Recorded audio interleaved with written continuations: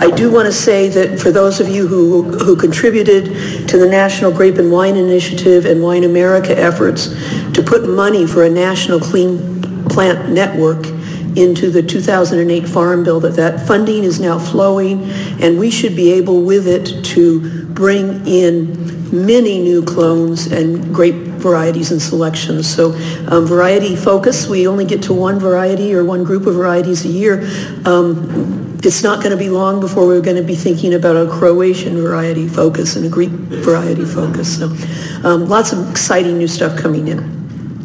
My job today is to talk about Sauvignon Blanc clones at Foundation Plant Services, and I'd especially like to thank Nancy Sweet on my staff who did a fabulous job of putting my presentation for me. Nancy's our department historian, and she's an excellent scholar who's very good at getting into some of the old records, things that left by Olmo and Goheen, and some of the, the people who went before us. Um, when we did um, whenever we do a variety focus, she spends some time researching that variety in depth, which is something that uh, it, it's complicated. It takes a lot of time, and you have to have actually a lot of knowledge about the history of um, viticulture in California and who, who the people were. Um, for instance, we were able to find out, uh, Nancy um, talked to the Concannon family, and they were actually able to find the documentation from France, which gave us the origins of FPS Cabernet 07, 08, and 11, which had never been dug up before. So it's, it's, it's quite um, exciting, um, some of the tidbits that we're digging out.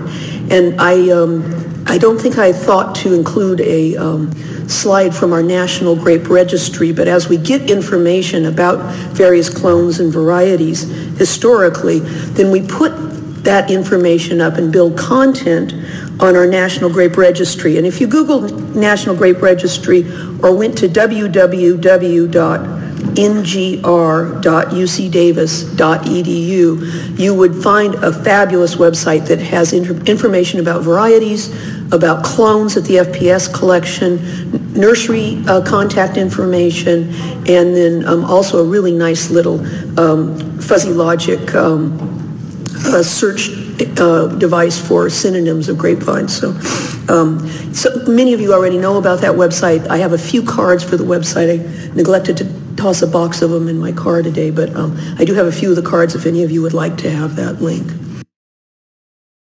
So, Sauvignon Blanc clones at FPS? Well, first let's talk about Sauvignon. In France, Sauvignon is used to talk about both Sauvignon Blanc and sometimes Sauvignon Gris, which is a gray form of Sauvignon with, with slightly grayer rose berries as opposed to the Sauvignon Blanc that is more familiar to those of us in the United States. And so we have, at, at FPS, we have 23 selections of Sauvignon Blanc and only four selections of the Sauvignon Gris. But um, in terms of thought process, we did the research on both the Sauvignon Blancs and the Sauvignon Gris because they were often discussed together in the European literature.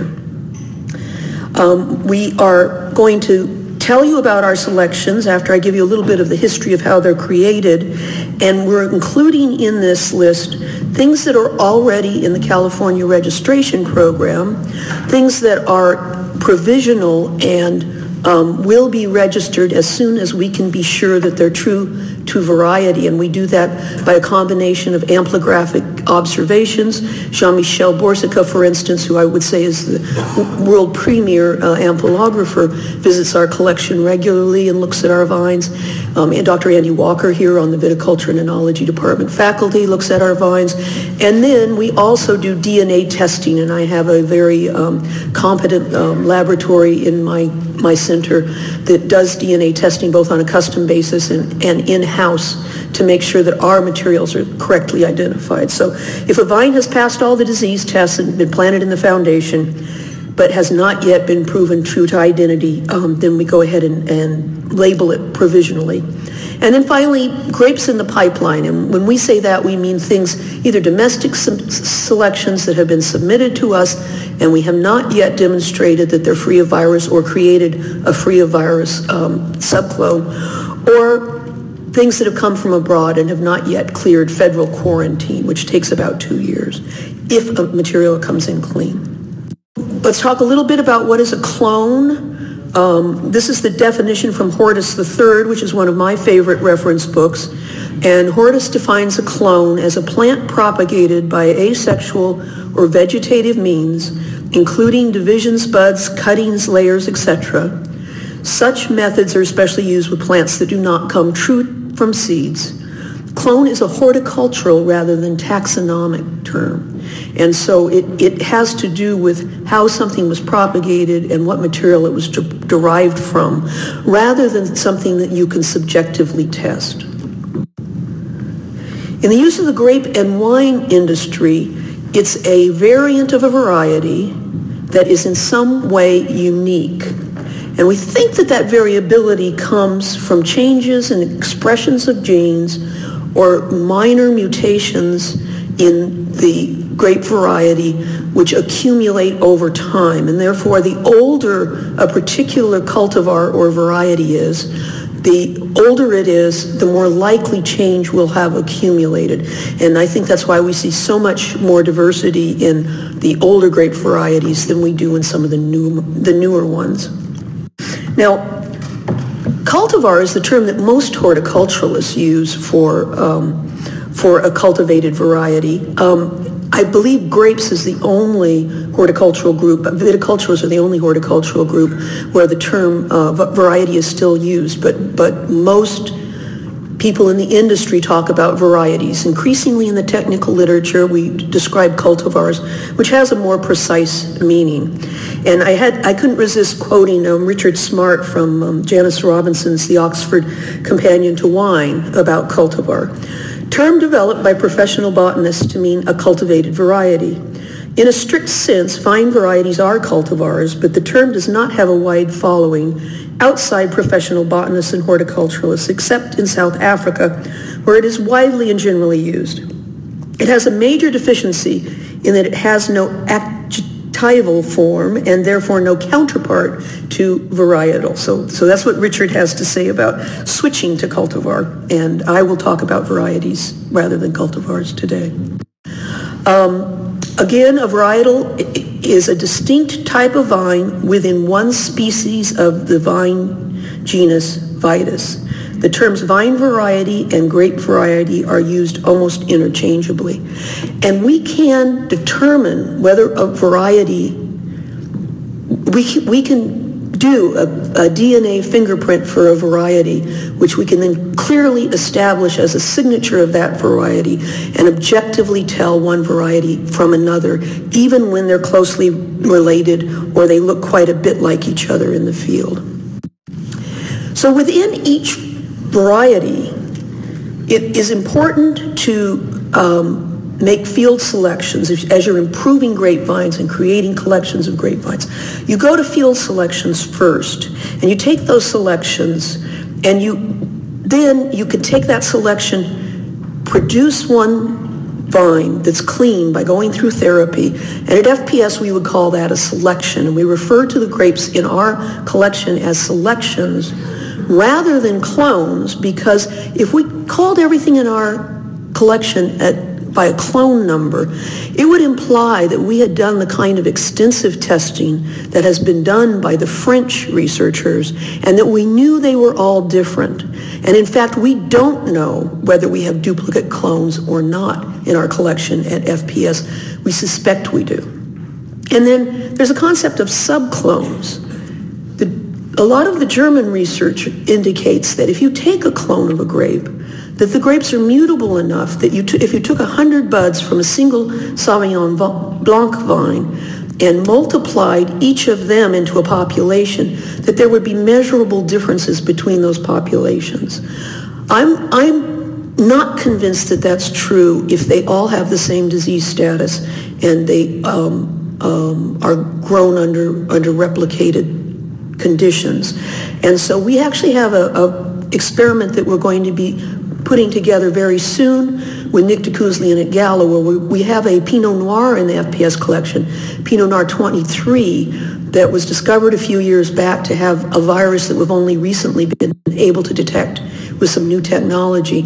And we've made subclones of Pinot Noir 23 which are now being multiplied and will be planted out in a replicated block in a Gallo experimental field. So we'll be able to see if eight different subclones of Pinot Noir 33 produce different uh, have measurable differences in, in grape quality and wine quality, and also be, to be able to compare those back to the Pinot Noir 23 that had the leaf roll in it because we never saw any significant problems with that clone.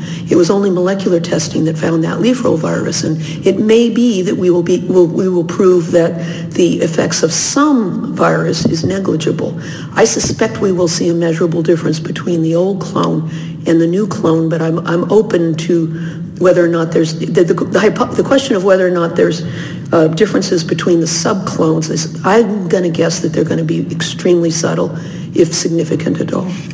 So that gives you an idea of some of the things that we're dealing with at FPS and around the world when we're manipulating plant material to put it in collections and maybe some context for some of the comments I'm going to make about some of our uh, Sauvignon Blanc clones today. There's a picture of our building.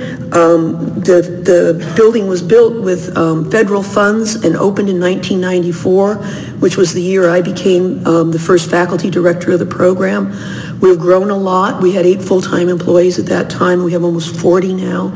And um, it's a very vibrant program that only exists because of industry support. We're a self-supporting unit, and the university uh, only provides um, the, the, salary of the faculty member, uh, Dr. Adib Rowhani, who runs my lab, and a portion, 60% of my salary. 40% of my salary is paid for by California nurserymen through their IAB assessments. So it's an interesting program. I'm kind of living halfway between an academic world and a, a business world um, as director of FPS. What we um, do with grapevines at FPS is we bring in new selections, which could be foreign imports, domestic selections, new varieties. We do disease testing. If the material is positive, we put it through disease elimination therapy, and we do it until we can get negative tests. So until all the tests are negative, the um, selection is put into therapy. Once it passes the disease test, it can be planted in our foundation, and it becomes a provisional foundation vine. And as I ex explained earlier, it goes through professional identification. If the identification isn't correct, we historically have just removed the vine.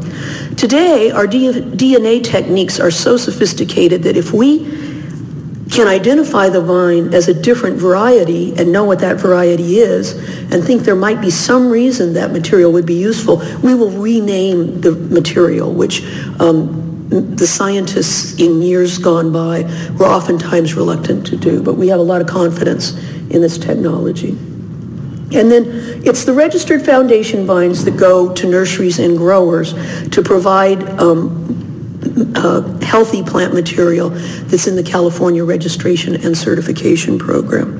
And incidentally, for those of you who have been following the um, now 15-year long efforts to get the California registration and certification um, regulations updated. Um, we have um, we, we have been successful. The revised uh, regulations have gone to AOL, ALO.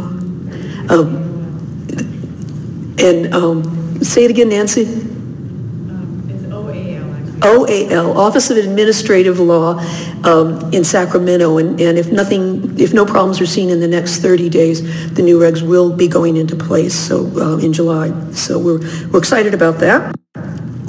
Um, in the historic FPS program, we used to use chambers, uh, growth chambers, where we'd do heat treatment to get rid of virus. And this was a very difficult process. It was a little risky. It took literally months of growing a plant at 37 degrees centigrade, which doesn't quite kill the plant and keeps the viruses from replicating well. And then we'd rescue buds from those heat-treated plants. And a small percentage of them would actually turn out to be free of virus. Now, we've pretty much entirely abandoned that technology. And instead, what we do is we go to the shoot tip of a growing grapevine and we cut out a piece that's 0.5 millimeters or less. So this is the smallest possible cutting that you can make from the tip of a grapevine. And we put it into tissue culture and more than 90% of those plants we will have eliminated the viruses that were causing um, problems for us.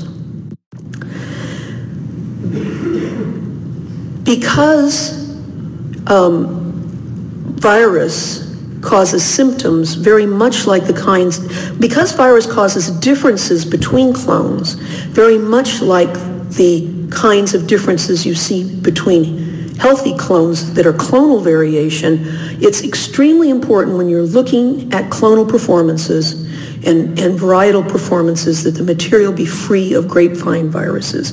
And here's a summary of data taken in clonal trials from a paper by Jim Wolpert from 1995. And he, the kinds of things you look at in a clonal trial are pruning weight, shoot number, yield, cluster number. Those are per vine measurements. Per replicate, berry weight, juice maturity analysis, sugar as Brix, um, acidity, pH, and then by calculation you might look also at shoot weight, cluster weight, and uh, berries per cluster. These are the kinds of things we're going to be looking in my Pinot Noir 23 subclone experiment. And then of course it's always best if you can to go through making experimental wines to look at wine quality parameters as well. Now that is extremely um, demanding work and I think you probably got an idea of how difficult it is from Jean-Michel's descriptions of the trials that are going forth in, um, in France. For various reasons in the United States, we don't seem to be able to identify funding for the kinds of clonal trials that go on in the United States. So we're very lucky to have the French material, which has been so carefully studied, um, available to us uh, here in the United States. Now, again, to illustrate the point that virus can, if, if virus is present in a vine, the clonal trials are meaningless. You can see here some fruit infected with grapevine fan leaf virus. And in different years, to a varying degree, fan leaf will cause poor set, shot berries, open uh, cluster uh, architecture, and in fact, um, would completely distort the data that you got on a clone that had become infected with that virus. And so it's something we have to always keep in mind when we start talking about clones and talking about nursery material. A leaf rolls does the same kinds of things. Uh, it it uh, delays fruit maturity, reduces yields, reduces pigmentation in the berries. So you could have an excellent clone of leaf roll, and it would look like a very poor clone um, until you got the virus out of it. So. And again, to, to, to further illustrate this point, um, the, the changes in a um, clone of Chardonnay and one of Pinot Noir, some work done by some of my French colleagues, and the change in sugar content and, and probable alcohol, um, at, which is uh, the European way of, of looking at uh, Brix.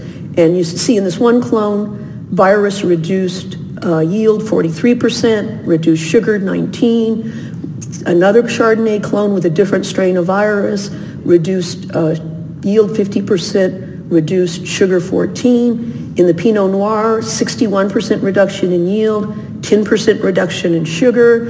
Um, a second Pinot Noir example, 37% reduction in yield, 3% reduction in sugar.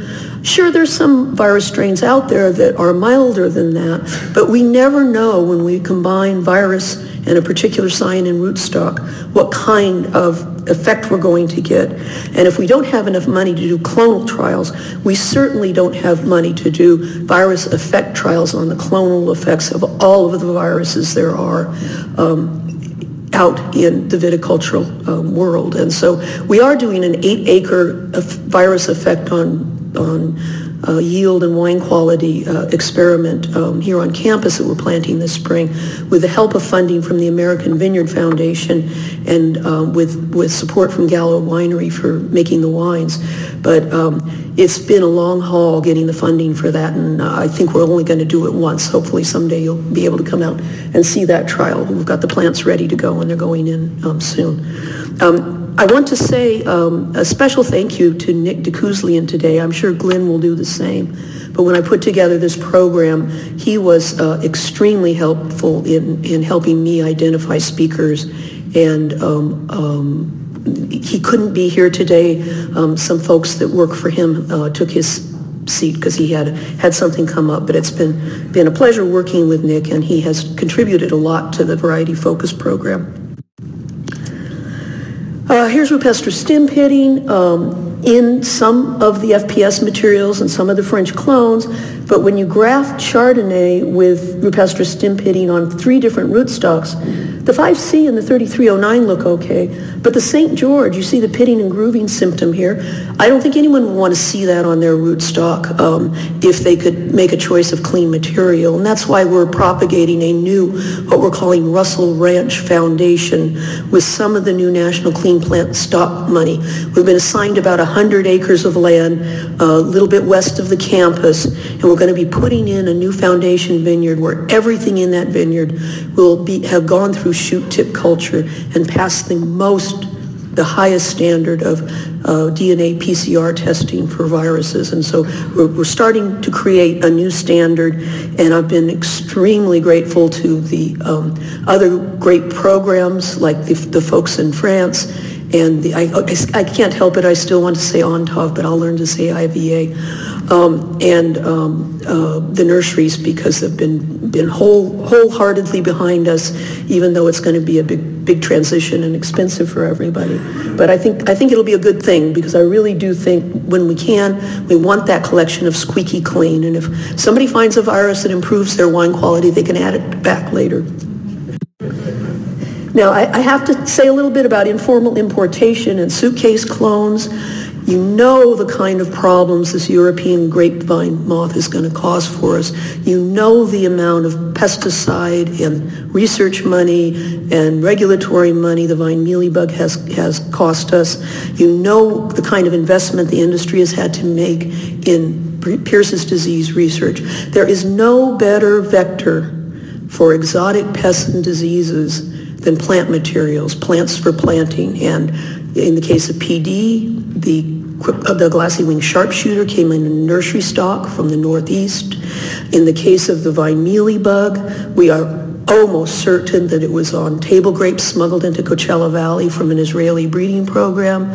Um, we don't know yet how we came to have the uh, European grapevine moth in, in, in uh, the North Coast, but um, one thing we can all do to avoid those problems is to uh, make it socially unacceptable to, to smuggle clones in, in, in luggage. I, I, I, get very frustrated with the San Francisco Chronicle. They constantly make that seem like a sexy and kind of fun thing for a winemaker to do. And, you know, every time I get an editor there educated, they get a new editor that does the same thing over again. I'm tired of writing them letters. I think maybe I should just Xerox the same letters and keep sending them back. Um, anyway, um, in, the, in the plant business, patents, trademarks, trade secrets, and of course contracts have become more and more a part of the business. And many of the clones I'll, I'll talk about today you do have to have a license to propagate them, and you do have to sign a, a non-propagation contract to get them. But um, in, in many cases, it's the most valuable and desirable material for which that's true. So the origins of Sauvignon Blanc, I'm going to go through this a little bit quickly because I think Jean-Michel covered it very well, but we believe that the, the variety is from the Loire Basin or the Bordeaux region. Um, it was a parent of our Cabernet Sauvignon, and it was first imported to California in the late 19th century. We also have, so we have quite a few FPS clones that come from California vineyards from those very early introductions before there were federal quarantine laws to formalize the importation of grapes.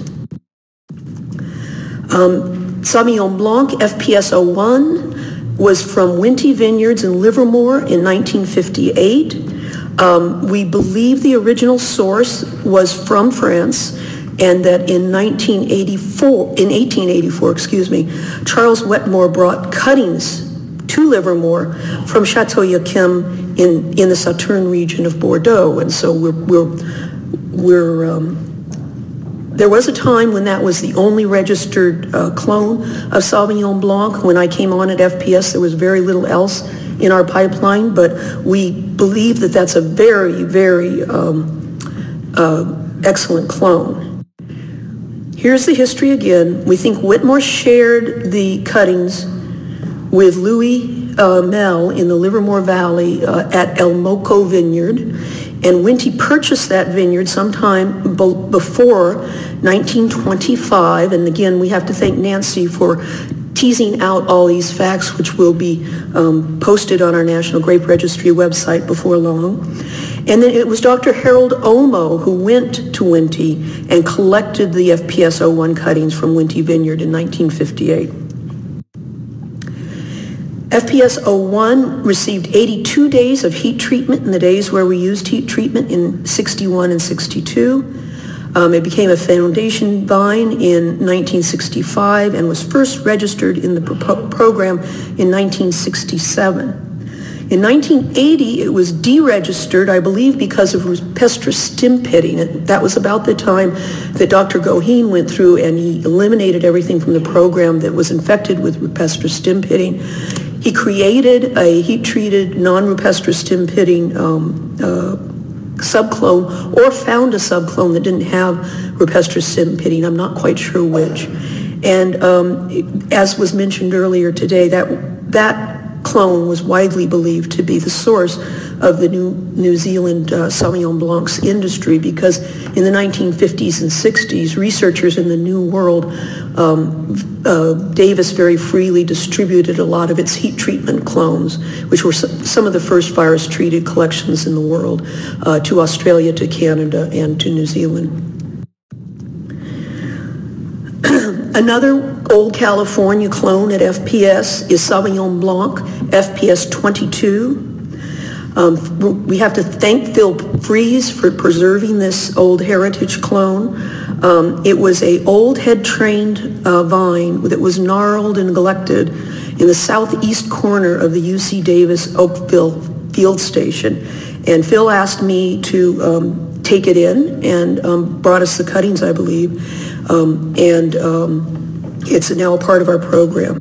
when we tested it initially, it had severe leaf roll and also severe rupestris stem pitting.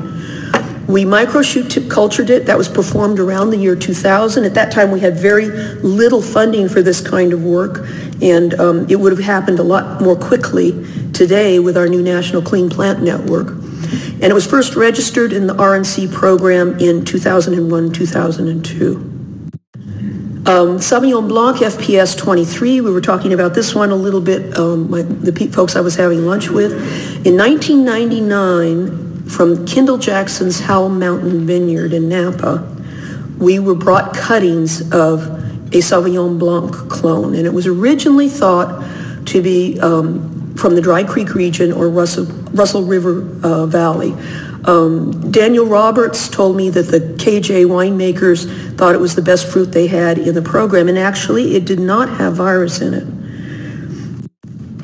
Um, another heritage uh, selection in 1997 came from a well-respected Napa County vineyard. Um, because it was an extremely old vineyard, we were fairly certain it was not FPS 01, and we microshoot tip cultured that at FPS. We have Sauvignon Blanc FPS 29, which is from the former UC Foothill Experiment Station in Jackson, California. It was originally from the experiment station at Berkeley and then moved from Berkeley out to the Jackson um, station where Dr. Goheen plant explored with an old map that place to, to harvest a lot of um, varietal material that might otherwise have been destroyed. It did have leaf roll. Um, we microshoot tip cultured it in, two, and, and uh, in 2003, and um, it's, it's now in the program. I don't have the date there exactly. Okay. And then Sauvignon Blanc FPS 30. Uh, some of you may know Larry Hyde, who's a Napa Valley grape grower. He's famous for having an excellent collection of, of varietal material in his vineyards. He's collected from all over the state over the years and is a very uh, knowledgeable person. And he has shared all of his clonal material with us um, a number of years ago, and we have worked steadily through that collection, uh, cleaning up those clones. So um, he uh, said that this was a Sauvignon Musqué type, and um, he gave it to us in 2002. It, um, we know now that Sauvignon Musqué are by DNA testing um, uh, just the same as Sauvignon Blanc, and so we use the Sauvignon Blanc varietal name even for the Sauvignon Musqués in our collection. It didn't receive any treatment, and it is possible that it's the same material as FPS 27, which is also a Musqué type. So, yeah, we, we haven't gotten to that one yet. Okay. So then we have Sauvignon Blanc clones from France. Um, authorized French clones are that we have here in Davis, and I need to update my slides. We have the in the INRA logo instead of the new logo that we should should replace this with, but um, it, it's still on top INRA in my mind for a number of years, I'm afraid. It took, it, we changed the name of FPS oh, almost 10 years ago from Foundation Plant Materials Service to Foundation Plant Services, and it took quite a while, and I even slip up sometime before people could, could bring themselves to leave the materials word out.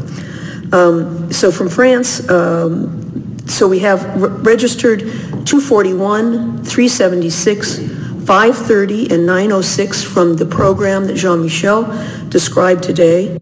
We also have some generic French clones that came in by various routes before the trademark program was started.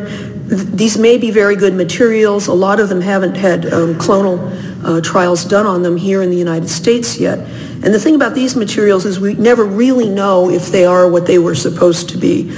But we do have a number of um, what we call reported to be French clones.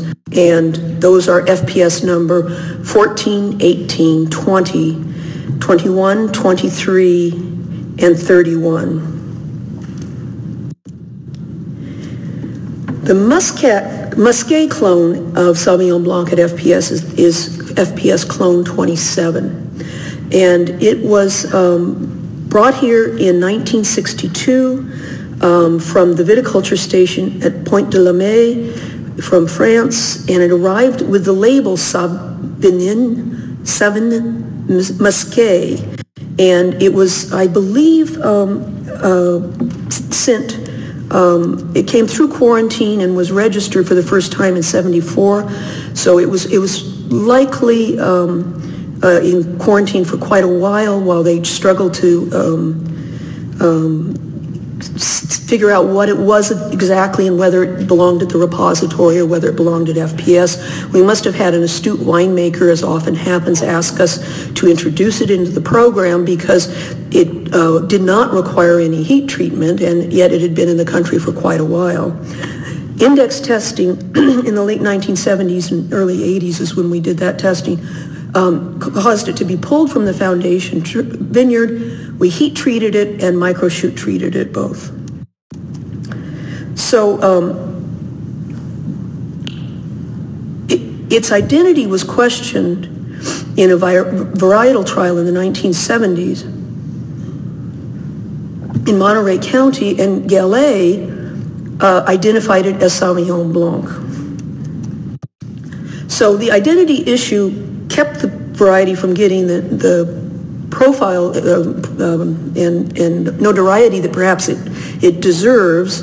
But we got the issue resolved by Dr. Carole Meredith in her lab in 1999 when she showed that Sauvignon Blanc and Sauvignon Musqué share exactly the same DNA profile. And so we changed its name to Sauvignon Blanc FPS 27 in 2001 and returned it to the registered RNC list in 2002, 2003. And I think there still remains some confusion about that whole long sequence of events that eventually brought it back to our collection and makes it available to you. I've told, I'm told by winemakers that it's an extremely valuable clone. We have Sauvignon Blanc clones from Italy um, that came to us uh, through the importation program. They um, largely came from um, um. Um, the institute there has always had a close relationship with UC Davis. FPS 06 07, 17, and 24. We have the original uh, clone numbers from Italy, and all four of those went through micro-shoot tip culture. Now, all this information in the slides is in your packets in a table where Nancy has summarized it for you. And the entire uh, presentation will be online in a month or two as we do the post-production for today's um, presentations, and then they go up on UC's integrated viticulture website. There's no charge to use those websites, and most of our variety focuses over the years actually are up there and recorded. There was a selection that came in from Rauscedo. It was Rauscedo Clone 3 in Italy. Came in in 1994, was micro-shoot tip cultured, and um, it's FPS number 28. A, a, a word about the numbering systems.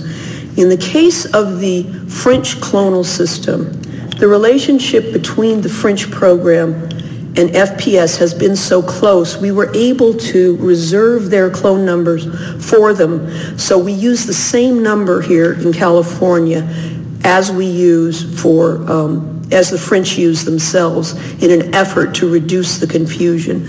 And only the trademarked authorized material is allowed to use that FPS selection number. And so there we were able to, to create a little bit of clarity from the confusion on clone numbers. We haven't that, that decision was not made about the Rauscedo materials. I know there's a few people from Novavine here, and it's something in the future we should think about whether your the, the numbers, the higher Rauscedo numbers, whether that would be a possibility for the future. Uh, with Sauvignon Blanc, R3, would not have been compatible because we already had more than three Sauvignon Blancs in our system, but there might be room for doing that. We're working a little bit with one of our Portuguese programs to try and make the clonal numbering system as transparent as possible. I, when I talked about this when we did the um, uh, variety focus on the Iberian varieties, I talked about the Tower of Babel in terms of synonyms. Well, clone numbers are a bit of a Tower of Babel as well. And um, we're working real hard in the National Plant, Plant Diagnostic Network to avoid um, confusion about clone numbers. We're going to try and have a standardized national system of clonal labor, labeling where I think clones developed at other clean plant centers um, will help them with a, assigning a number in a, a, system so that numbers do not get duplicated. It's an important issue, I think, um, to avoid confusion in the future. And then Sauvignon Gris. Finally, I would like to talk a little bit about Sauvignon Gris. Um, it is a, I, I understand it to be a different variety than Sauvignon Blanc. Is that correct, Nancy? It's, it's a, it's a subclone? It's a mutation. It's just different. Okay, so, so um, it, it, this is a different mutation. Um, just as in um, um Pinot Noir, you have different color mutations of the variety that cannot be told apart by DNA analysis. With, with this case, Sauvignon Gris is also one of those subclones.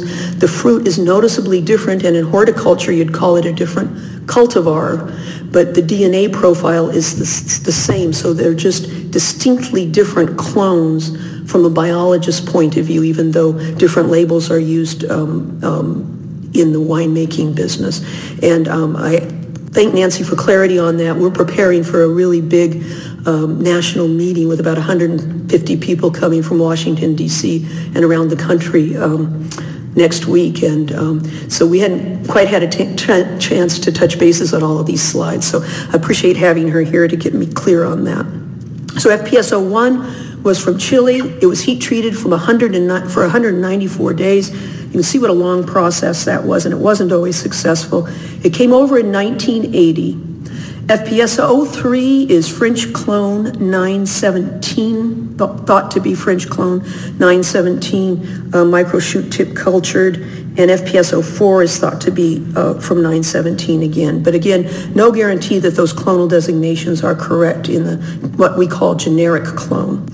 True uh, true um, ENTAV-INRA 917, which has had no treatment and came through FPS, is um, um, is what receives the registered number 917 in our program. So this is a good case to di- differentiate our naming conventions vis-à-vis the trademark program that Jean-Michel Boursiquot uh, talked about this morning. If it, if it has the authentic trademarked um, number on it, it came from the ENTAV collections themselves.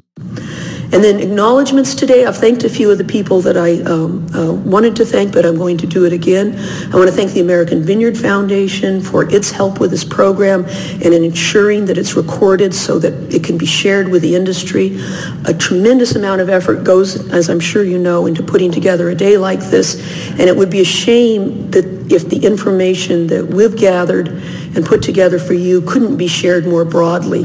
Not everybody can be here to taste the wines with us today, but at least the uh, technical information will be preserved and made transparent in the industry. Um, I'd like to thank all my speakers. They've done a fabulous job, and I hope you will join them for the reception this afternoon, uh, sponsored by Sunridge, which we appreciate very much. And um, I'd like to thank the UC Davis Extension staff. They make it very easy for me and my staff to, to um, uh, put on a day like this when we've still got to keep our, our door open uh, at FPS and take care of our other obligations. Um, I don't think we could do it without them, to tell you the truth. And um, I'd like to thank my staff who worked very, very hard on this um, on this day, and especially uh, Carol Lamb, who headed up the tasting team, and Nancy Sweet, who did the research for uh, my presentations. And with that, I'm, I'm uh, pretty much done. Um, oh, I, I, should thank Nick Dokoozlian again. He was very helpful in putting together this program and, and ensuring that we got some of the uh, wines as well. And I would be more than happy to answer any of your questions. What would be a likely matchup with what we think of as Muscat and then ENTAV clone, or is there one that's like that? You're asking whether there's a Muscat um, clone of ENTAV material? Right, this is something that they identified that we think of as the Sauvignon Muscat clone. Do we have a Sauvignon Muscat in your collection here, Jean-Michel? No, no, but uh, the real name is Savagnin, because Savagnin is the same thing as Sauvignon. Savagnin is the mother of Sauvignon. Oh, okay. That was the, was confused. Okay, so, so the Sauvignon was a mislabeling in addition to the fact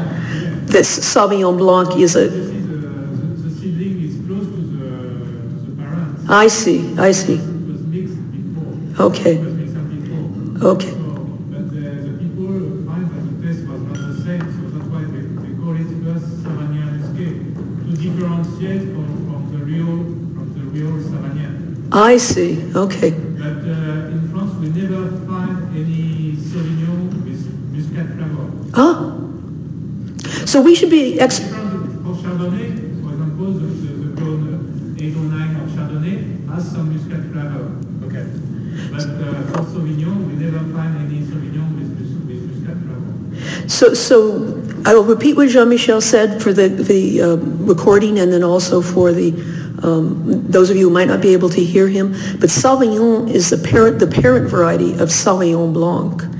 And in France, so that the material that came from Europe was mislabeled with a different varietal name. But in France, they have never found a Muscat mutant of Sauvignon Blanc. And so that mutation perhaps is unique to California. And, um, and so um, if you ever would like some material, Jean-Michel, just, just feel free to ask. Um, and um, um, so, so I believe that, that you, given that, that the materials that we have are per- perhaps from the first discovery of Sauvignon Muscat.